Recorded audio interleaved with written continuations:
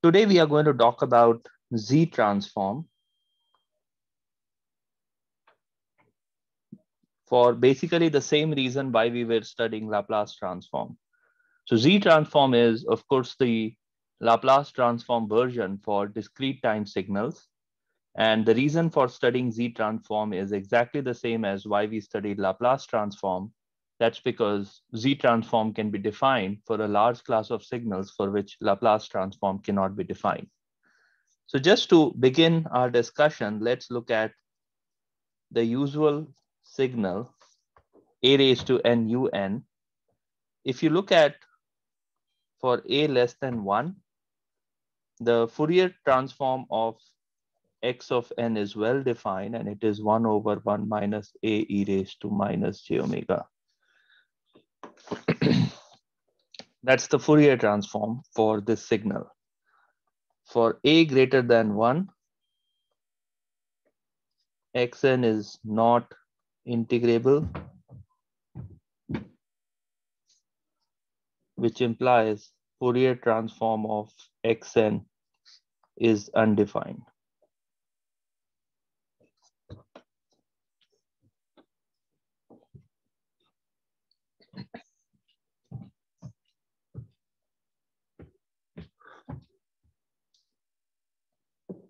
Exactly the same story as in Laplace transform. When a is greater than 1, the signal x goes to infinity as n goes to infinity, because of which uh, we cannot take the Fourier transform because xn no longer is integrable. So let's try to do this uh, using Laplace transform. So L of xn, the Laplace transform of xn is denoted by x of z, which is summation xn z raised to negative n, n goes from minus infinity to plus infinity. So this is the definition of Laplace transform of discrete time signal. Oh, sorry, it's called z transform. Let me actually write it as z.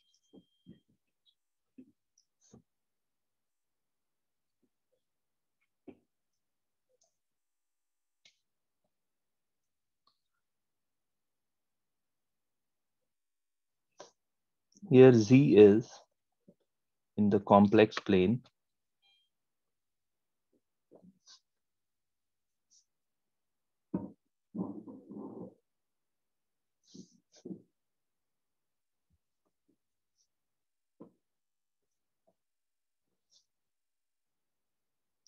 Now let me decompose Z as R e raised to j omega so R is the absolute value of Z.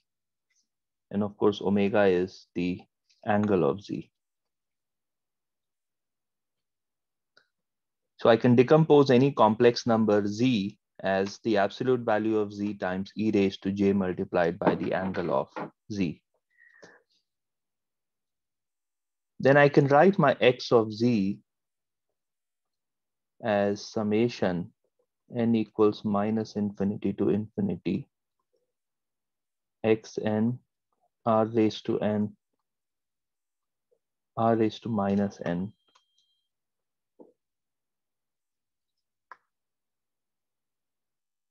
e raised to minus j omega n.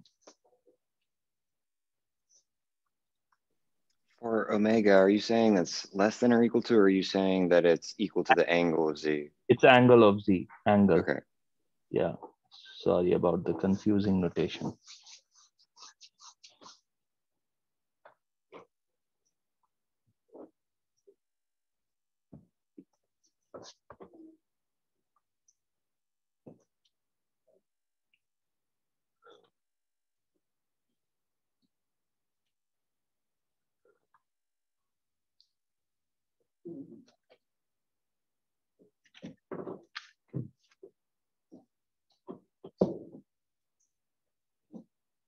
So it turns out that Z transform is basically the Laplace transform of xn multiplied by an exponentially decaying term. Of course, I'm saying decaying because, but r could be even less than one, in which case it's actually an exponentially growing term, but some exponential term gets multiplied by x of n.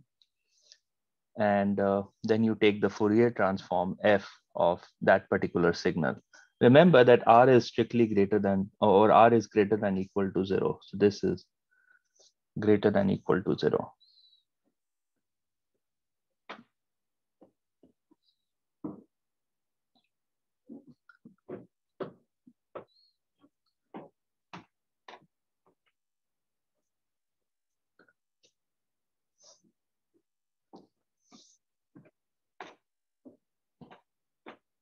Now, just like Laplace transform, when we define Z transform, we also need to specify the region of convergence. This is the set of all Z for which this uh, Z transform exists.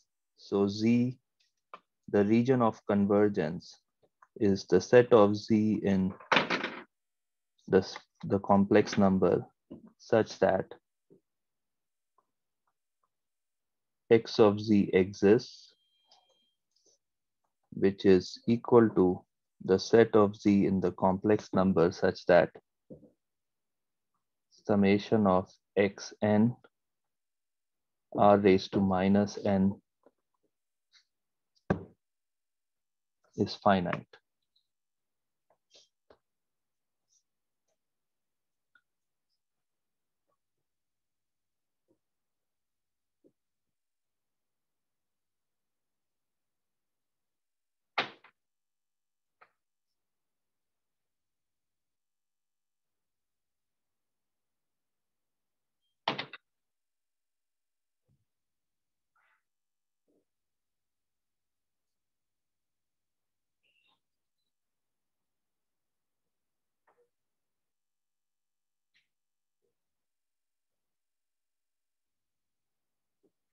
Okay.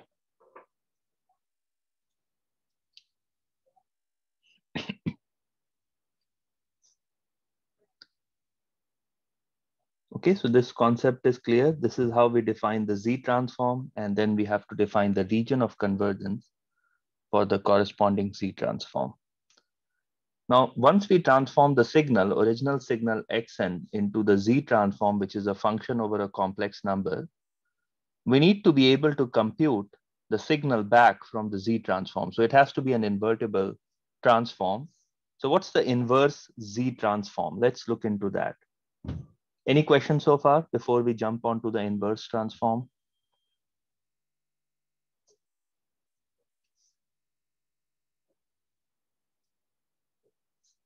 Okay, so we'll look at this particular equation right now. We'll look at the definition of xz, which is a Fourier transform of xn r raised to minus n. So let's look into this equation. And we will be able to use the inverse Fourier transform to derive the expression for inverse Z transform.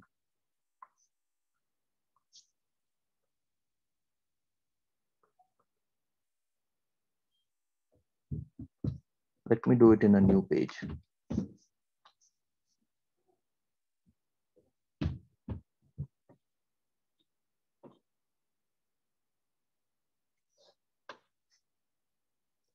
So I just mentioned that x of z is the Fourier transform of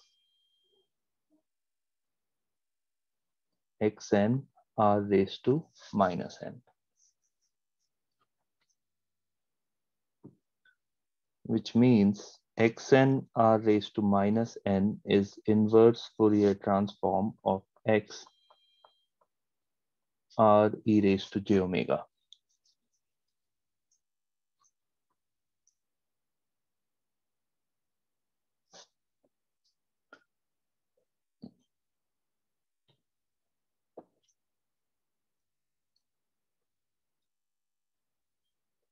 Which implies that xn should be r raised to n. And then what's the inverse Fourier transform? 1 over 2 pi integral over 2 pi interval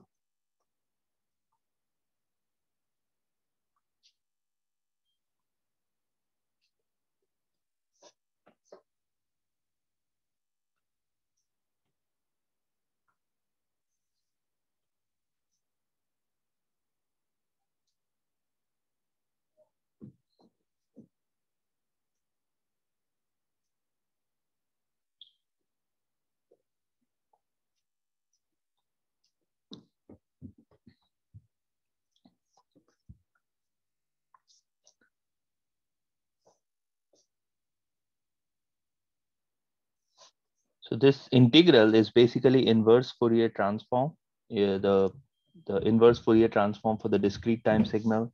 And this r raised to negative n is taken on the other side of the equation and it becomes r raised to n.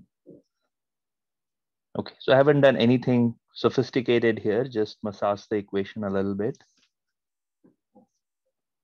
Let's move on to the next step. 1 over 2 pi. So I see that this integral is with respect to omega, it doesn't depend on r.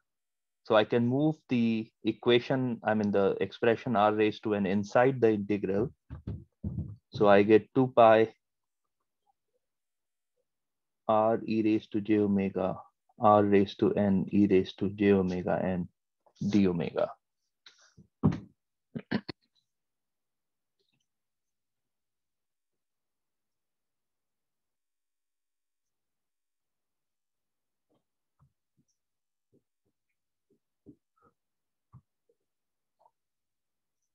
What else can we do to simplify the expression?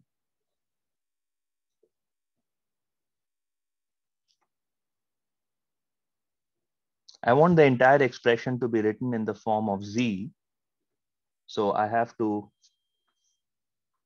do some massaging or do some change of variables. So I have z equals to r e raised to j omega. r remains a constant, it doesn't vary. Um, I'm just going to pick one r in the region of convergence. omega is the one that varies because I'm taking the integral with respect to d omega. So let's do dz equals to r j e raised to j omega d omega.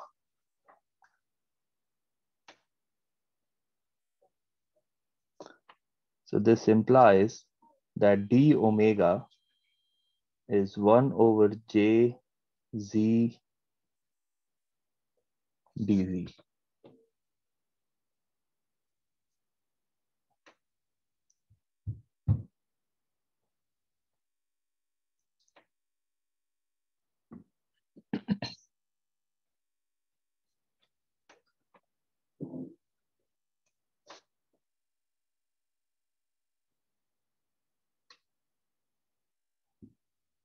Okay.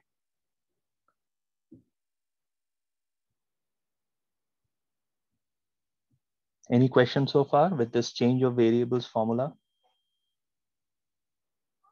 So there's another thing we need to be careful about when we are changing the variable, which is uh, the fact that this integral is in a certain interval of omega. So this integral, if you look closely, we have to integrate over any interval 2 pi in the omega space.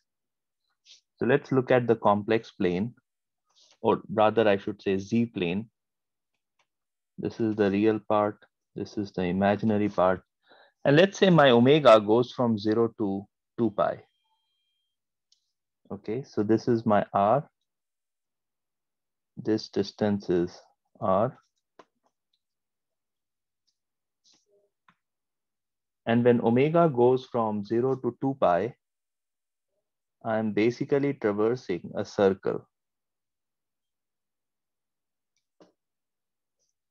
This is omega equals 0. This is omega equals pi over 2. This is omega equals to pi. This is omega equals to, how much is it? 3 pi over 2. And this is again omega equals to 2 pi, which is equal to 0. Well, I shouldn't say 2 pi equals to 0, but omega equals to 2 pi is the same point as omega equals to 0.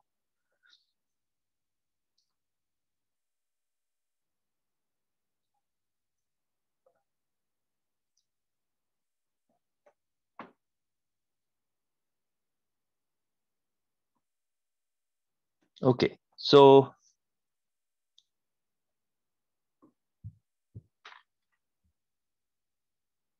we found, we did the change of variables. We went from r e raised to j omega to z. I found out d omega as a function of dz. And then I found out that any integral over a 2 pi interval uh, in the omega space is equivalent to the integral in the z space over a unit circle that's going in the anti-clockwise direction. So I'm going to start from omega equals to zero, and I'm going to integrate over the circle all the way until omega, until I reach omega equals to two pi. Okay, and because I'm going from zero to two pi, I have to make this integral in a, I have to take this integral in a clockwise contour, not an, sorry, it, it's an anti-clockwise contour, not a clockwise contour.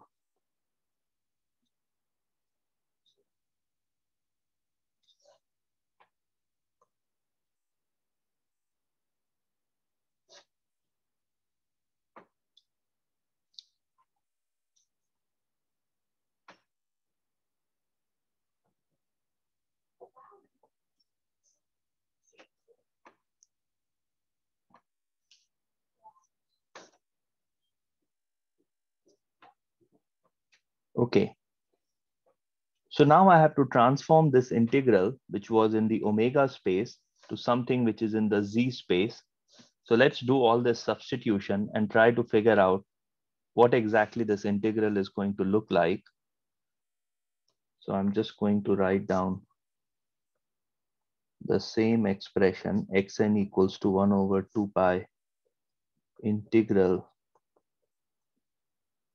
xz z raised to n d omega. It's z raised to n, yeah.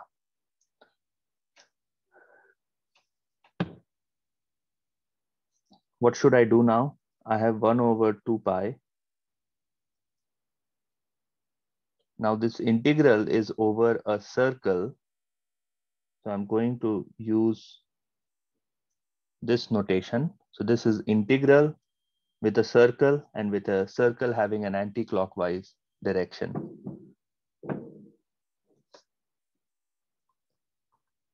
This is xz, z raised to n, dz over jz.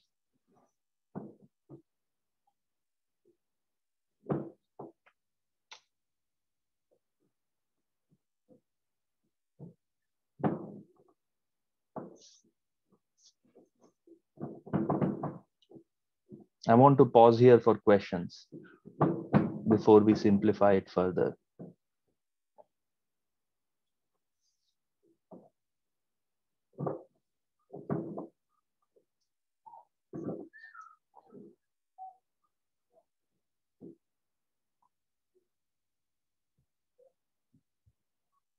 Okay, so it seems like everything is perhaps not obvious, but uh, everyone is able to follow the discussion so far. Now let's simplify it further. I can take the j outside. So I have 2 pi j. I have this anti-clockwise contour integration. I have xz z raised to n minus 1 dz. This is the inverse z transform.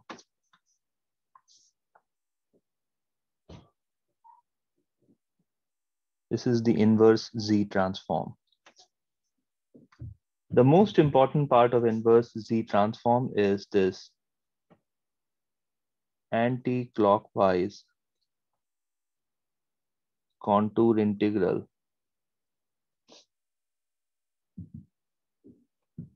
uh, of over a circle in the region of convergence.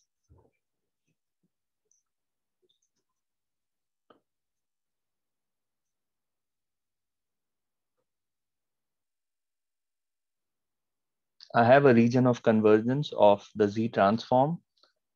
I'm going to pick any circle in that region of convergence. I'm going to do this anti-clockwise contour integral for this function over a complex uh, over the complex number space and then I'll get the signal xn back.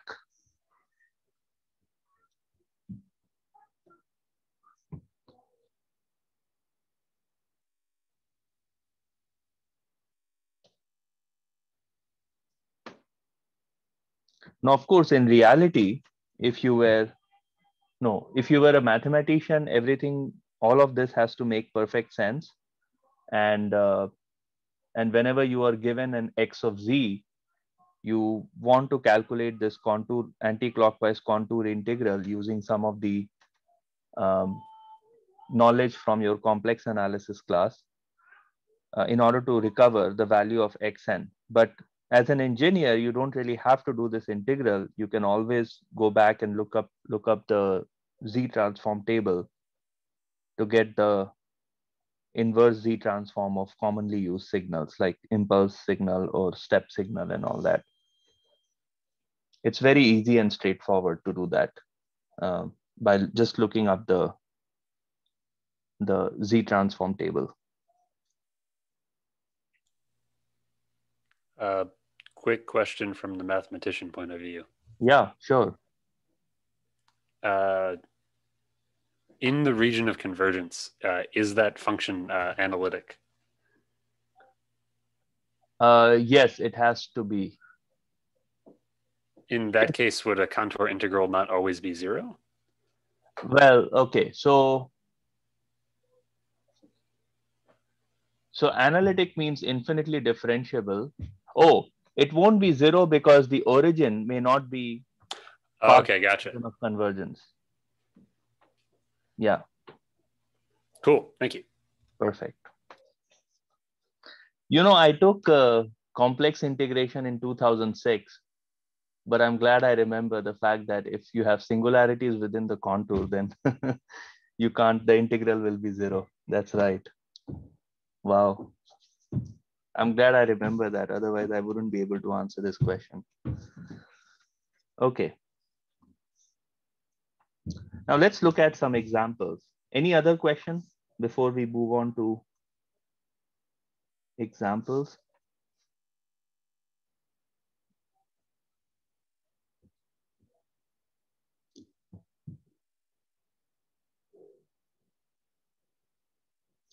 Okay.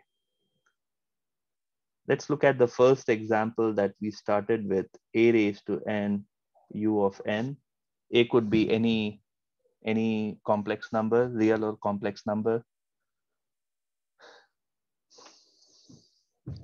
So the z transform x of z would be summation n goes from minus infinity to plus infinity xn z raised to negative n.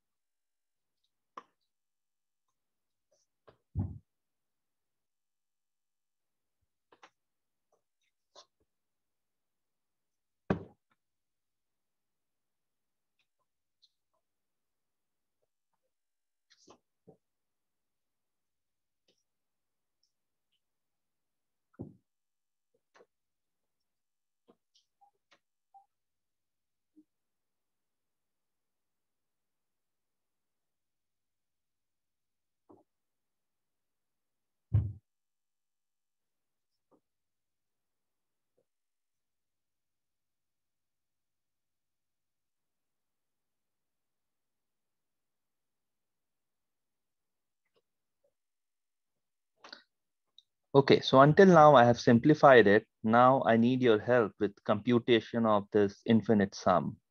And under what conditions would this infinite sum converge?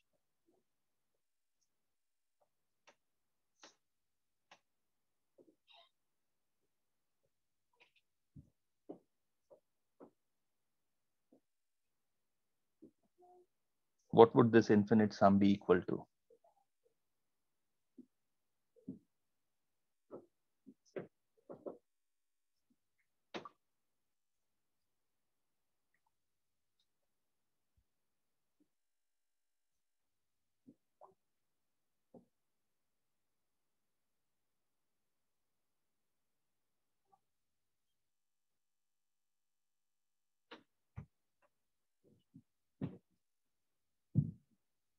Come on, someone should be able to answer this question or maybe write it in the chat box.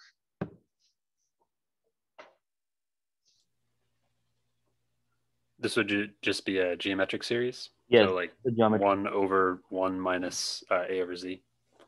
Right. That's great. And under what conditions would this be convergent? Uh, if the a over z is less than one, or the absolute value of that is less than one. Right.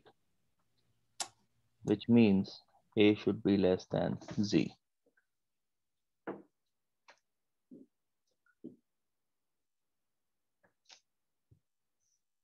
So that tells me that for for an exponential signal a raised to n u of n, the z transform is 1 over 1 minus az inverse for all values of z, which is greater, the absolute value of z greater than absolute value of a. In contrast, if you remember from Fourier transform class,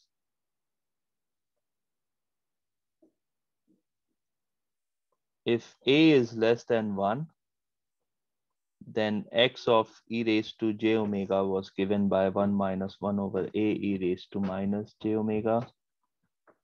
And yeah, we didn't have to talk about the region of convergence. That's because a was less than 1. And the r uh, here is equal to 1.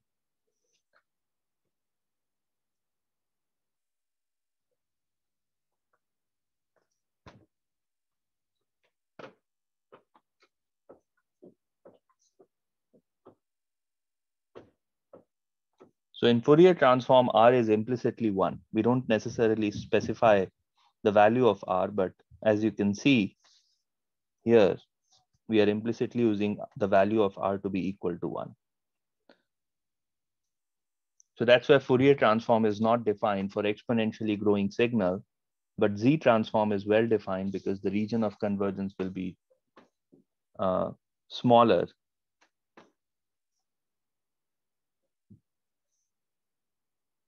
in this case. Okay.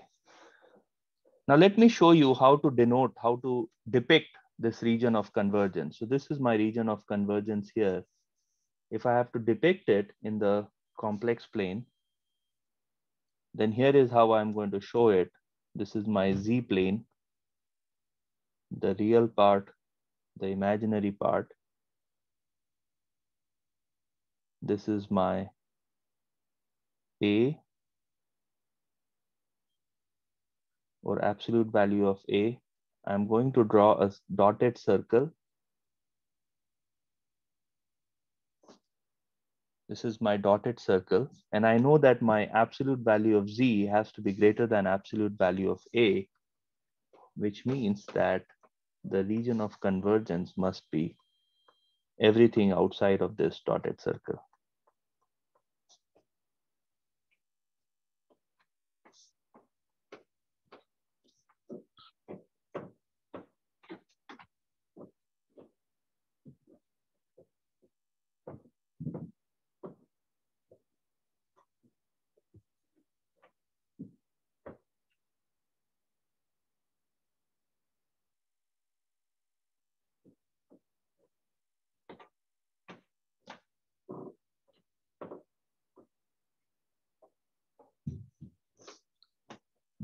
So the dotted circle represents that the circle itself is not part of the region of convergence. Everything outside the circle is part of region of convergence. So when we have to take the contour integral, we have to pick a circle within the region of convergence. And so we'll pick a circle that looks like this in the region of convergence.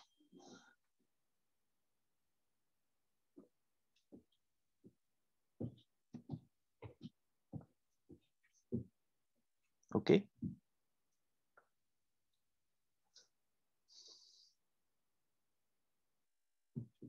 All right.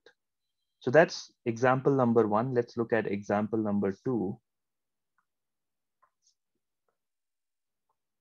My x of n is minus a raised to n u of minus n minus 1.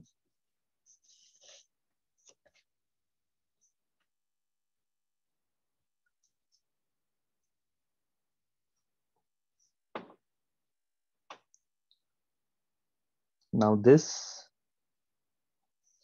this signal actually is something like for n equals to zero, this is zero, okay. This is n.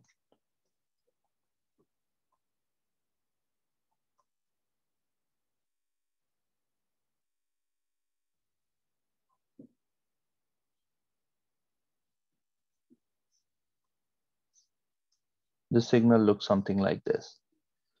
So it's defined for all the values of n less than zero, but it's not defined for values of n. Well, it's equal to zero for values of n greater than equal to zero.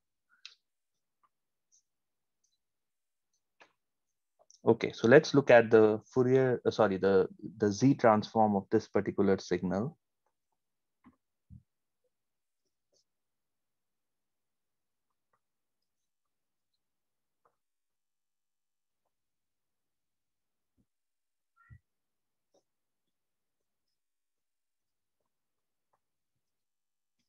Minus infinity to zero.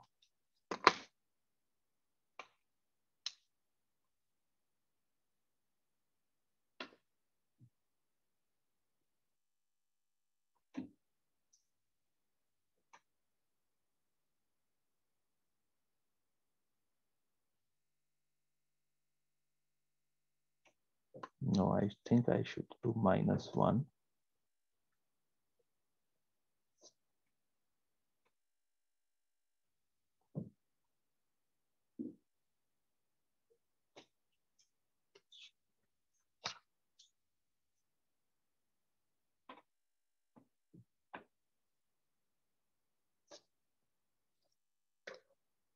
What should I do now? I have this complicated looking infinite sum, which goes from minus infinity to minus one. Any thoughts? How should I compute this summation?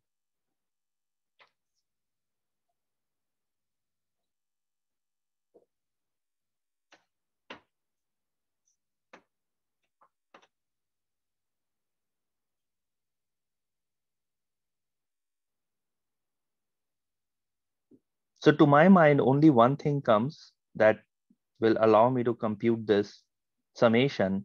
So I do see some elements of geometric series here, just like in the previous example. But I, I know about geometric sum for n goes from zero or one to infinity, but I don't know about geometric sum from minus infinity to minus one. So I somehow need to transform the limits of this summation to, to going from one to infinity. So that requires me to do a change of variables. So let me change from n to minus n prime. If I apply this change of variables, then I have n prime goes from one to infinity. And then I have negative sign can go outside, I don't care. a raised to minus n prime, z raised to n.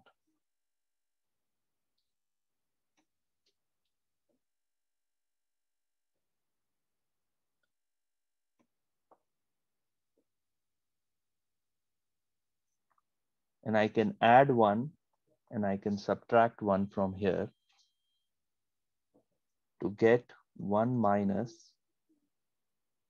summation n prime goes from zero to infinity a raised a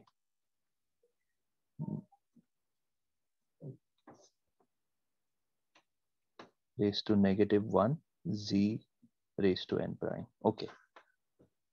I hope everything looks correct so far. Any, any question? I think it's correct.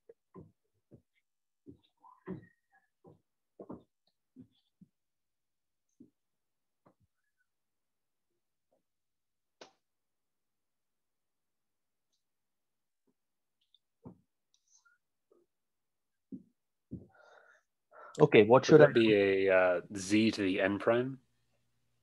Oh, yeah, of course. Thank you. Yeah, z raised to n prime. That's right. Okay.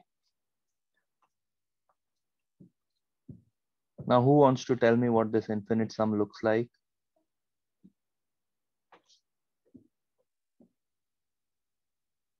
One over. Come on, someone should be able to solve this infinite sum. Okay. I guess it's uh, the second last week of the semester, so I won't blame you for forgetting all about geometric sum, geometric series. Uh, okay, so here I have 1 minus 1 over 1 minus a inverse z. And this geometric series converges only when a inverse z is less than 1. So I can maybe um, do some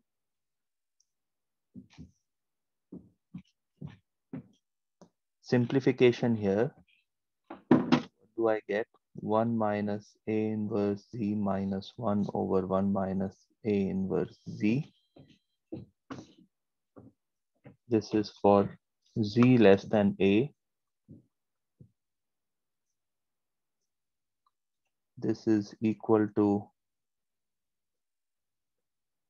minus a inverse z over 1 minus a inverse z, z less than a.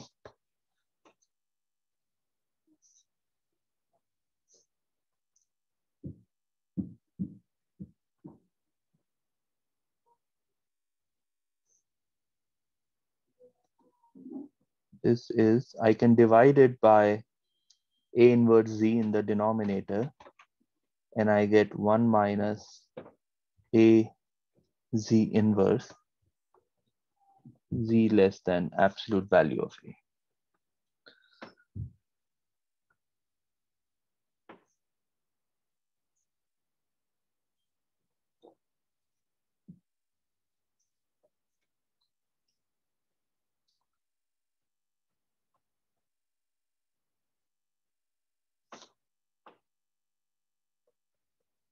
That's my Fourier series, or Fourier, uh, sorry, Z transform of this signal.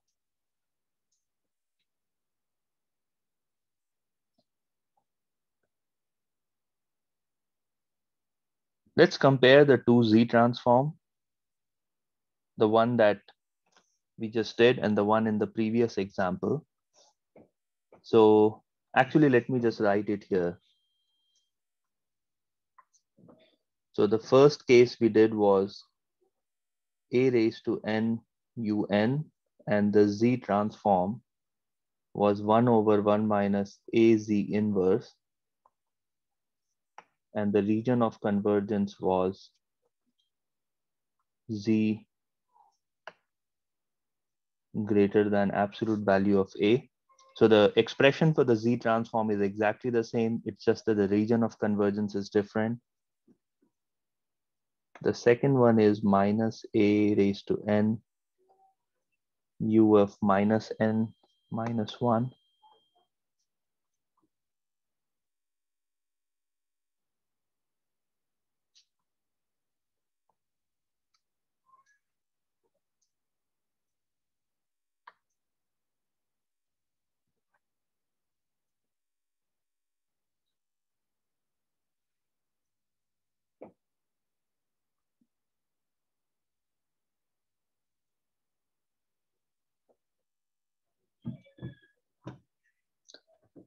And let me write you, let me give you two more Z transforms. So one is B absolute value of B less than one, B raised to absolute value of N. The Z transform of this particular signal after going through some steps is one over one minus BZ inverse minus one over 1 minus B inverse Z inverse. And the region of convergence is B less than Z less than 1 over absolute value of B.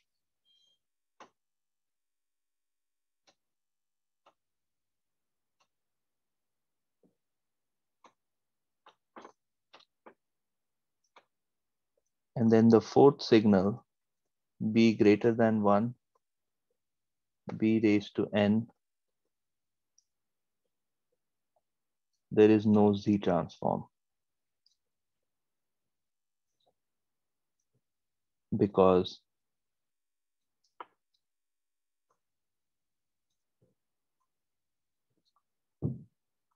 the ROC is an empty set.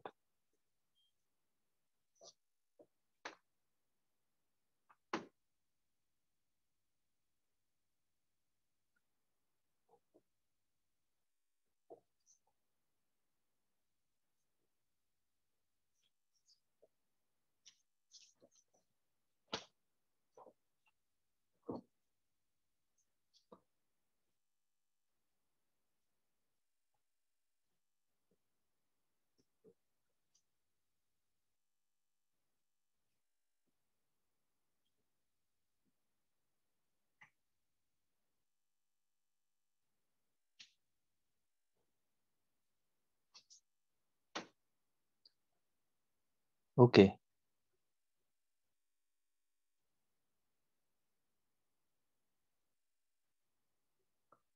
So we see that there are properties of region of convergence that um, even in this case, there are certain properties of region of convergence depending on the signals that we have considered.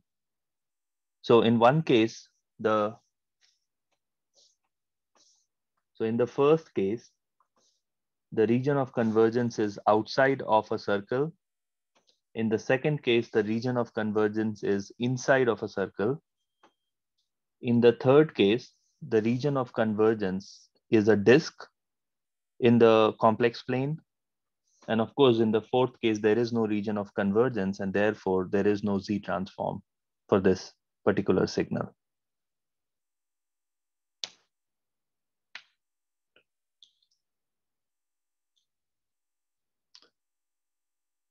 So a lot of the properties for region of convergence that we studied in the context of Laplace transform, they have similar uh, properties. I mean, there are similar uh, properties of region of convergence in the context of Z transform as well.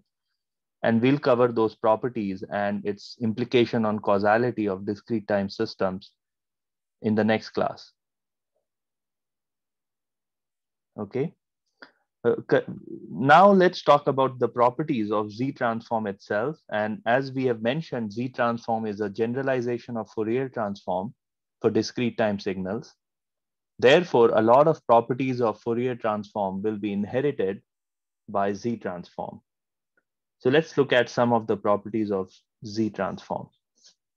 Any questions so far before I move on to the properties of Z transform?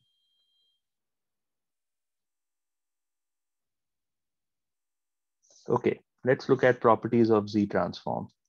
So I have three signals, X, X, X1 and X, X2 with the corresponding region of convergence R, R1 and R2. The first property is linearity, we all know about. So if you take a sum of signals, then the Z transform will be appropriately will be an appropriate sum of the individual Z transforms with the region of convergence being an intersection of R1 and R2. If you shift the time, um, the Z transform will be multiplied by Z raised to negative N naught. And the region of convergence may, may change a little bit depending on uh, whether origin is part of the new region of convergence or not.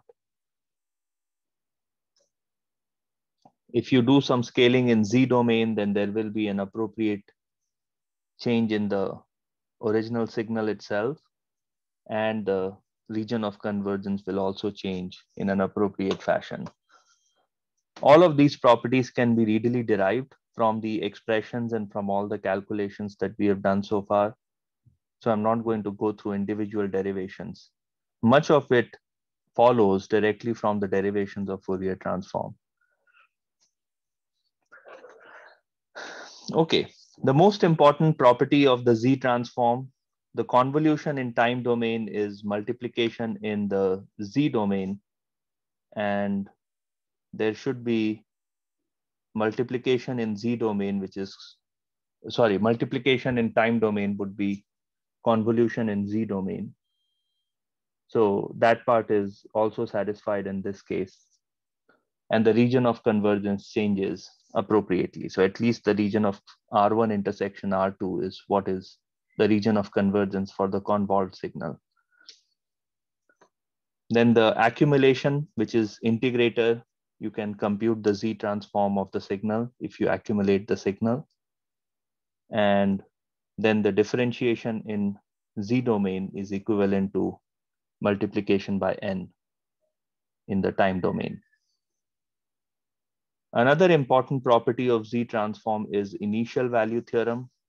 So if xn equals to zero for n less than zero, then x0 is the limit z goes to infinity of xz. So that's the initial value theorem.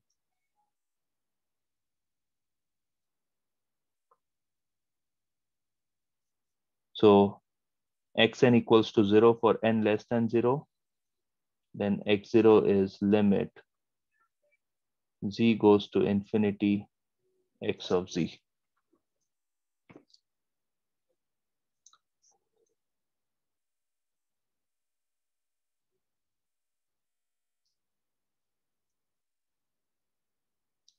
Okay, I'm definitely going to provide you with this table for the examination. So I don't expect you to remember this table, nor do I expect you to remember the appropriate changes in the region of convergence, but certainly you should be familiar and comfortable with using this table in your um, homework assignment as well as in the final exam.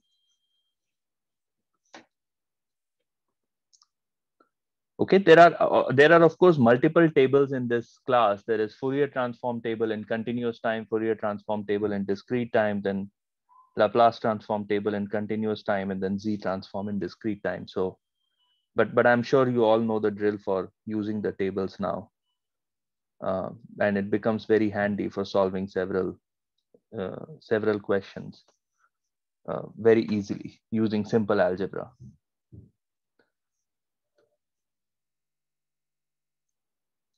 okay so we are roughly out of yeah i mean we are out of time so here are the things that we will do in the next class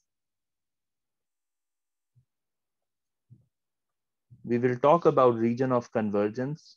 Then we'll talk about causality and stability of LTI systems. And then we'll talk about first order system. And then we'll talk about block diagrams. We'll go back to, we talked about block diagrams in maybe lecture four or five and we'll go back to block diagrams and talk about how this whole uh, idea of Laplace transform and Z transform can allow you to derive the uh, input output characteristics of a bunch of systems uh, string together uh, using the concept of block diagram. We can actually come, come up with the input output behavior. So those are the things we'll talk about in the next class. If we don't get to the block diagram case in the next class, then we'll of course talk about it in the Wednesday's class. And next week is of course the final week. Monday, we have the quiz four. Uh, Wednesday, we might cover some of the topics that we could not cover in Friday's class. And then on Wednesday plus Friday, we'll do a review of the whole area of uh, the whole signals and systems class that we have done so far. Okay, so uh, you must have received an email about SEIs. Please do uh, write your feedback and provide comments about uh, my teaching in the SEIs, and I'll definitely take all the comments and criticisms and design my next class accordingly. So thank you guys and see you on Friday.